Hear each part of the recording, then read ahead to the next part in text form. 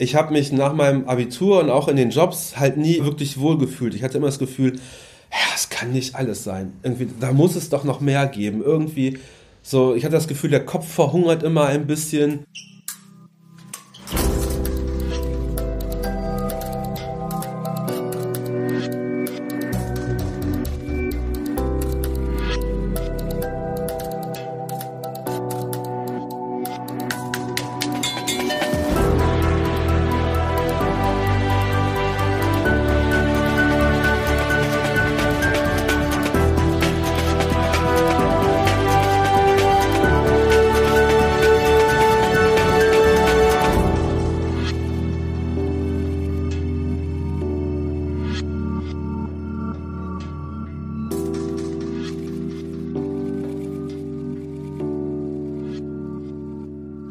Herzlich willkommen zur Episode Nummer 3.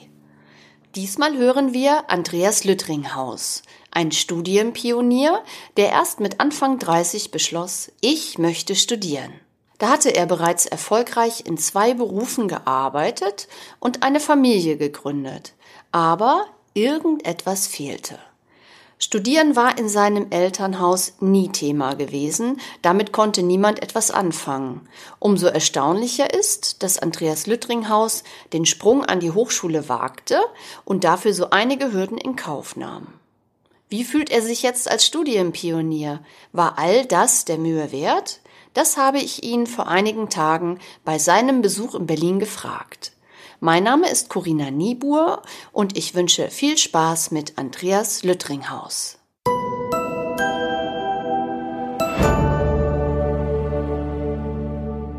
Ich war halt schon sehr früh sehr selbstständig. Also ich habe mit 14 schon angefangen zu arbeiten, ähm, weil ich halt immer so mein eigenes Geld verdienen wollte. Unabhängigkeit war mir echt immer sehr, sehr wichtig. Meine Eltern hatten mich eigentlich so erzogen, das ist, glaube ich, auch ein großer Punkt gewesen, so, wenn ich was will, dann kann ich das auch schaffen. Und wenn ich was will, dann muss ich das tun. Äh, meine Mutter hat immer gesagt, erst machen, dann fragen. Grundsätzlich sollte man euch erstmal sagen, dass ich tatsächlich der allererste in meiner Familie bin, der überhaupt Abitur gemacht hat. Also meine Eltern hatten ganz normal Volksschule, ist das glaube ich damals, abgeschlossen. Ja, ich war tatsächlich der Erste, da konnten alle nicht unbedingt viel mit anfangen, sage ich mal. Klar gab es eine heiße Diskussion zum Thema, machst du jetzt noch Abitur oder machst du das nicht? Also mein Vater hatte mir doch sehr nahegelegt, nach der Realschule ähm, direkt arbeiten zu gehen. Er selber war bei der Deutschen Bank beschäftigt und sagte, ja, hier, komm doch, äh, komm doch mit in die Bank und da lernst du was und da hast du was. Äh, jetzt muss man so ein bisschen bedenken, zu der Zeit ähm, doch stark pubertär mit ziemlich bunten Haaren und eher sehr punkig, ähm, habe ich mich da nicht in der Bank gesehen, wenn ich ganz ehrlich bin. Also ich weiß noch wie heute, er hat dann immer gesagt, ja, aber glaub gar nicht, dass wenn du Abi machst, dass ich dir noch ein Studium finanziere. Also es war für ihn völlig ausgeschlossen. Da hat er auch nichts so von gehalten und ich dachte, naja gut. Also im Endeffekt habe ich eigentlich nur Abitur gemacht, weil ich null Bock hatte zu arbeiten. Dann bin ich erstmal so den Weg der kleinsten Hürde quasi gegangen und habe eine Ausbildung angefangen in einem Gastronomiebetrieb, in dem ich vorher schon während meines Abiturs ähm, sehr viel gearbeitet habe. Bin dann danach ähm, über mehrere Umwege in einer ähm, Großküche gelandet, habe dort als stellvertretender Produktionsleiter ähm, Mitarbeiter geführt und ähm, mich um diese ganzen Einkauf und sowas gekümmert. Irgendwann klaffte so die Zeit zwischen, wie viel arbeite ich hier eigentlich und wie viel verdiene ich hier eigentlich. Und äh, habe dann 2006, glaube ich, noch eine zweite Ausbildung angefangen als Versicherungskaufmann oder Versicherungsfachmann bei einer großen Versicherung. Das habe ich auch relativ schnell durchgezogen, äh, glaube zwei Jahre oder so und war dann quasi selbstständig, sechs Jahre lang. Das ist auch durchaus gut gelaufen. Ich war also sehr zufrieden, habe auch gut verdient. Und Ende 2011 äh, bin ich dann schwer krank geworden. Und ähm, war über drei Jahre nicht mehr in der Lage zu arbeiten, war also berufsunfähig zu Hause. Ja, also ich hatte unheimlich viel Zeit nachzudenken, unheimlich viel Zeit, die ich mich mit mir beschäftigen musste. Wie alt war ich damals? Ich glaube 33, 34 da macht man sich schon Gedanken, okay, wie geht's jetzt weiter? Wirst du wieder gesund? Wirst du nicht wieder gesund? Wenn ja, was passiert? Tatsächlich war es auch so, dass es ähm, mein Steckenpferd war zum Thema, ähm, wie sichere ich junge Familien ab, wenn der Haupternährer erkrankt wird. Jetzt bin ich tatsächlich selber in diese Maschinerie leider ähm, reingefallen und dann ist das Typische, was man hört, also sprich die Krankenversicherung versucht dich so schnell wie möglich loszuwerden, weil sie halt zahlen müssen. Ähm, die Berufsunfähigkeitsversicherung, die man abgeschlossen hat, die wehrt sich bis heute noch, um zu zahlen, weil sie sagen, nee, das ist alles gar nicht so, das müssen wir nochmal gucken. Ja, und dann ähm, entstehen natürlich Situationen, wo man selber ja nicht mehr wirklich weiter weiß, wo man echt ein bisschen aufgeschmissen ist, weil man denkt, boah, ich habe hier ein Haus, ich habe eine Familie, drei Kinder, irgendwie keiner will zahlen. Äh, letzten Endes sind wir tatsächlich durch diese Thematik bis auf Hartz IV runtergerutscht. Also für mich war das klar, dass ich nie wieder in einem Büro sitzen werde, um anderen Leuten Versicherungen zu verkaufen. Dann war das sehr schnell klar, dass ich auf gar keinen Fall diesen Weg wieder zurückgehen werde.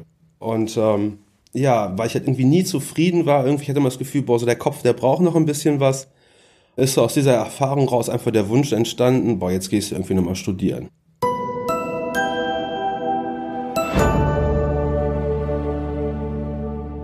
Ich hatte halt viel Kontakt dann in dieser Zeit, natürlich mit Ärzten, mit ähm, Sozialarbeitern. Und das waren tatsächlich immer auch so die einzigen Leute, die sagen, ja, jetzt beruhigen Sie sich, das wird schon alles, wir helfen Ihnen, wir fangen Sie auf. Ja, das hat mich schon beeindruckt. Und ähm, aus dieser Geschichte, aus diesem Weg war dann klar, es muss ein Studium soziale Arbeit werden. Also es gab natürlich Diskussionen zu Hause, ganz klar, mit meiner Frau, die sagte, es wäre doch besser, wenn du einfach dich wieder ins Büro setzt und sieh zu, dass du Geld verdienst. Ich habe ja ganz oft klar gemacht, das wird nicht passieren, das kann ich nicht mehr, das will ich nicht mehr. Und dann war das auch das Thema erledigt. Und was meine Freunde betrifft, ich boah, ich gehe nochmal studieren, hat man natürlich schon komisch geguckt. Aber ich habe relativ schnell mitbekommen, dass sie auch doch großen Respekt davor hatten, was ich da mache. Also es wurde oft gesagt, so, boah, nee, ich hätte da gar keinen Bock mehr drauf und es ist unglaublich, dass du dich jetzt mal hinsetzt und lernst. Ich weiß gar nicht, wie du das alles machst. Also es sind schon so Sachen, die auf Partys mal fallen oder wenn man am Wochenende weg ist. Von daher musste ich das eigentlich nur äh, mit mir selbst ausmachen. Ich hatte einen sozialen Partner an meiner Seite stehen, wie man sagt, der Cousin von meiner Frau, der auch noch, ich möchte das Wort höheres Alter nicht benutzen, also ich glaube so 43, äh, sein Master nochmal gemacht hat und er sagte, Anni, wenn du das willst, dann mach das. So, das kann nicht schief gehen, ähm, viel verlieren kannst du nicht. Ja, und dann ähm, ging das seinen Weg. Ich habe mir also so die Informationen dann geholt, die ich brauchte und habe dann ähm, ja zum Wintersemester 2014, 2015 mich äh, an der Hochschule Düsseldorf zum Studium der Sozialarbeit, Sozialpädagogik eingeschrieben.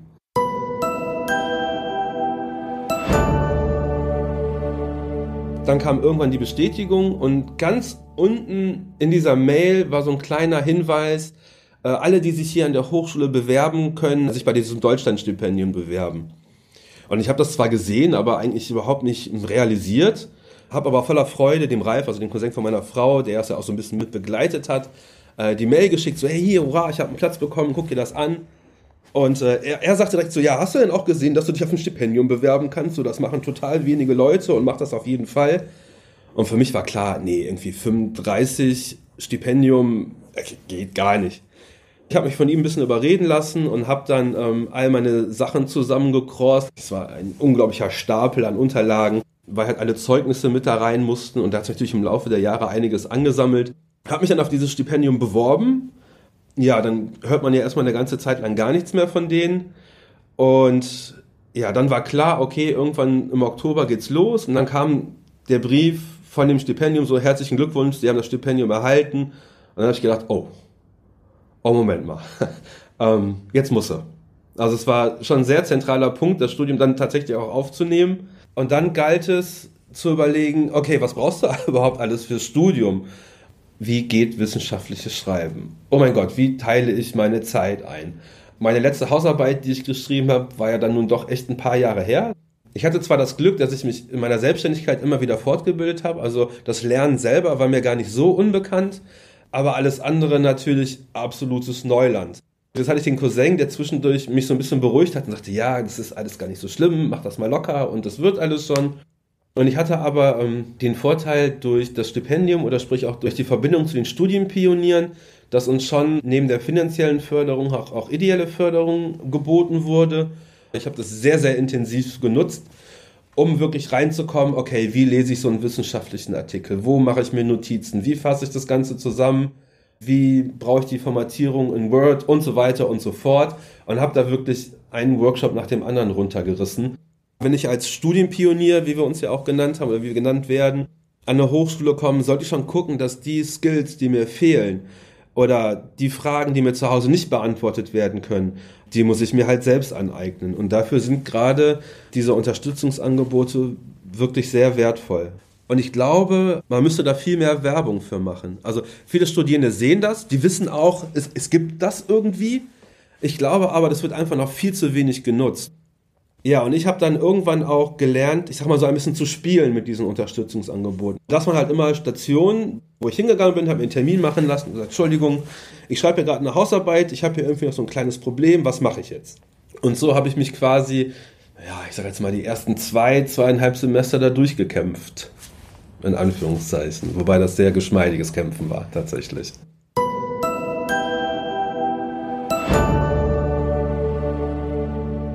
Ich war ja schon in diesem Studienpioniersprojekt drin und man hört auch, ich habe so ein bisschen mein Herz dran verloren und habe mich halt thematisch sehr stark mit dem Thema beschäftigt und dann stolpert man natürlich über Autoren wie Aladin Elmar Falani ähm, und dem Buch äh, Bildungsaussteiger aus ähm, benachteiligten Milieus. Ja, man liest diese Bücher und denkt sich, oh nein, der schreibt über mich. Oh nein, ähm, ja, das hast du auch erlebt. Und also es gab ganz viele Punkte, wo ich mich wiedergefunden habe. Und irgendwann war für mich auch klar, okay, du bist so geworden, weil du so aufgewachsen bist und du reagierst so und handelst so, weil sich das vom Kindergarten hochzieht bis da, wo du jetzt bist. Und das war für mich erstmal eine Erkenntnis, ja, mich selbst so ein bisschen auch zu akzeptieren. Warum mache ich die Dinge anders, als andere das machen und warum machen andere das vielleicht nicht? Und ähm, wieso habe ich da keine Probleme mit, aber an, alle anderen schon ein großes? Oder auch andersrum, warum habe ich mit gewissen Dingen Probleme, wo andere überhaupt kein Problem sehen? Tatsächlich habe ich ganz oft gesagt, boah, warum hast du das damals nicht schon gemacht? Boah, warum hast du, warum fängst du jetzt erst damit an? Ganz oft. Ich kann es tatsächlich so gar nicht mehr beantworten. Wahrscheinlich, weil zu Hause immer gesagt wird, nee, Jung, geh erstmal arbeiten, mach was Vernünftiges, du musst Geld verdienen, mach erstmal eine Ausbildung, also auch das Klassische, was man in der Literatur liest. Also schade, ich hätte das total gerne damals schon gemacht, dann wäre ich in dem Alter, wo ich jetzt bin, mit Sicherheit ganz woanders, als wo ich jetzt stehe, nämlich als Student in erster Linie erstmal da. Aber ich finde das auch gar nicht schlimm, weil hätte ich all diese Stationen in meinem Leben nicht durchlaufen, wäre ich definitiv auch nicht da, wo ich jetzt bin. Also ich bin eher ein Mensch, der sehr selten zurückblickt, und überlegt, habe ich da was falsch gemacht oder habe ich da was richtig gemacht, sondern ich treffe Entscheidungen und die ziehe ich dann durch. Das war tatsächlich immer schon so. Und das ist halt auch eine Sache, die mir während des Studiums sehr geholfen hat, weil ich halt so Sachen wie Teilmanagement und welche Ziele möchte ich haben, welche Ziele möchte ich erreichen. Ich bin da sehr streng mit mir selber. Ich habe also nie irgendwelche Prüfungsleistungen aufgeschoben. Das war auch eine Sache, die ich aus meinem Studium gelernt habe. Zweites Semester, Lernportfolio schreiben, 30 Seiten, drei kranke Kinder, meine Frau schwere Lungenentzündung im Krankenhaus, ich alleine, wo ich mir gedacht habe, oh Gott, das Ding muss jetzt irgendwie gewuppt werden. Meine Frau musste gesund werden, da brauchten wir gar nicht drüber reden. Die war raus aus der Geschichte. Ich habe dann die Kinder tagsüber bespaßt und gemacht, war froh dann, wenn die um halb neun, neun geschlafen haben und dann hieß es für mich, jo, go, jetzt wird sich nicht ausgeruht, jetzt kann ich meine Füße nicht auf die Couch legen und den Fernseher anknipsen, sondern ich habe dann die Bücher rausgeholt, habe angefangen zu schreiben und das ging halt ganz gerne bis morgens um drei. Und dann weiß man halt, okay, um acht wachen die wieder auf. Und ähm, dann ist die Zeit schwer begrenzt, die man schlafen kann. Und das habe ich halt einmal erlebt und habe mir auch ganz klar gesagt, das wird hier nie wieder passieren. Also in der Regel hatte ich alle meine Prüfungsleistungen eine Woche vorher fertig, weil ich da halt echt stark strukturiert dran gehe und mit einem harten Zeitmanagement. Und vielleicht war das auch ein Schlüssel, warum es für mich dann doch relativ einfach war. Weil ich nie auf den letzten Drücker irgendwie Sachen gemacht habe. Und das sind natürlich Dinge, die ich vorher durch meine berufliche Tätigkeit gelernt habe.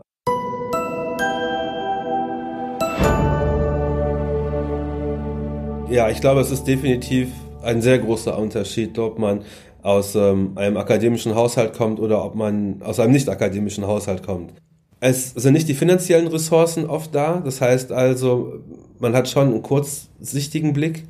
Du musst ständig gucken, ähm, wie viel Geld ist, am, ist Mitte des Monats noch da, was geht, was geht nicht, äh, wo muss ich knapsen, wo kann ich das hinmachen und man ähm, ist gewohnt, kurzfristig zu denken. Und genau das habe ich auch im Studium festgestellt. Also während es halt bei den einen heißt, ja, ich mache jetzt meinen Bachelor, da muss auf jeden Fall noch ein Auslandssemester dabei und dann geht's wo auch immer hin. Es ist bei den anderen oft so, ja, die nächste Prüfungsleistung ist wichtig, das nächste Semester schaffen und oft nicht zwei oder drei Semester weiter gucken, sondern das ist gerade aktuell, das steht an und diese Dinge müssen erledigt werden. Man läuft Gefahr, nur noch einen Punkt nach dem anderen hinterher zu hecheln, einen Prüfungssatz dem anderen und, und vergisst zu stoppen, um zu gucken, hey, was sagen denn die anderen dazu? Und das finde ich tatsächlich ein bisschen traurig und ich glaube, dass was links und rechts passiert, ist unheimlich viel und das sollte man auch mitnehmen. Ich hatte immer das Gefühl, und das habe ich heute auch immer noch so, das Studium, ähm, das macht den Kopf so weit. Also die, die Range, die man vorher hat, indem man sich in seinem normalen Alltag bewegt mit Familie, Arbeit, Kinder, ist ja doch grob immer das Gleiche. Man beschäftigt so mit, mit seiner kleinen Welt und guckt, dass man durch, gut durchkommt. Und das Studium hat wirklich mich dazu veranlasst, über unglaublich viele Dinge nochmal nachzudenken, die auch eine ganz andere Sichtweise einzunehmen, diese Position einfach mal zu ändern und mit einer anderen Brille drauf zu gucken. Und das hat mich halt total angesprochen. Also ich habe da, ich bin da richtig aufgegangen. Und wenn man dann so ein bisschen Blut leckt, sage ich jetzt mal, ähm, dann fällt einem doch vieles einfacher, als wenn man sich da halt völlig falsch fühlt. Die Frage, was kommt danach, habe ich mir auch schon gestellt. Es ist bei mir vielleicht etwas anders als bei anderen Studierenden. Also durch meine Tätigkeiten an der Hochschule, durch meine Jobs ähm, bei der Stadt Düsseldorf, durch die ganzen Netzwerke, die ich spannen konnte, die ich ziehen konnte, äh, durch die ganzen Menschen, die ich kennengelernt habe, durch. Es ist tatsächlich so, dass ich hier und da relativ schnell mal ein Jobangebot kommt. Bei mir ist es so, ich bin halt sehr gut durchs Studium durch. Ich habe unheimlich viel Spaß dabei gehabt. Ich lerne viel. Ähm, ich habe so ein bisschen mein Herz auch an die Forschung verloren. Von daher ist es für mich relativ klar, dass ich nach dem Bachelor jetzt ähm, sofern die Noten stimmen, einen Masterstudiengang obendrauf setzen werde. Das ist erstmal das große Ziel. Und, und dann gucke ich mal weiter. Also ähm, einen wirklichen Plan habe ich noch nicht. Was ich jetzt aber erstmal im Moment auch noch gar nicht schlimm finde, weil die Dinge ergeben sich und tatsächlich ist es auch immer so.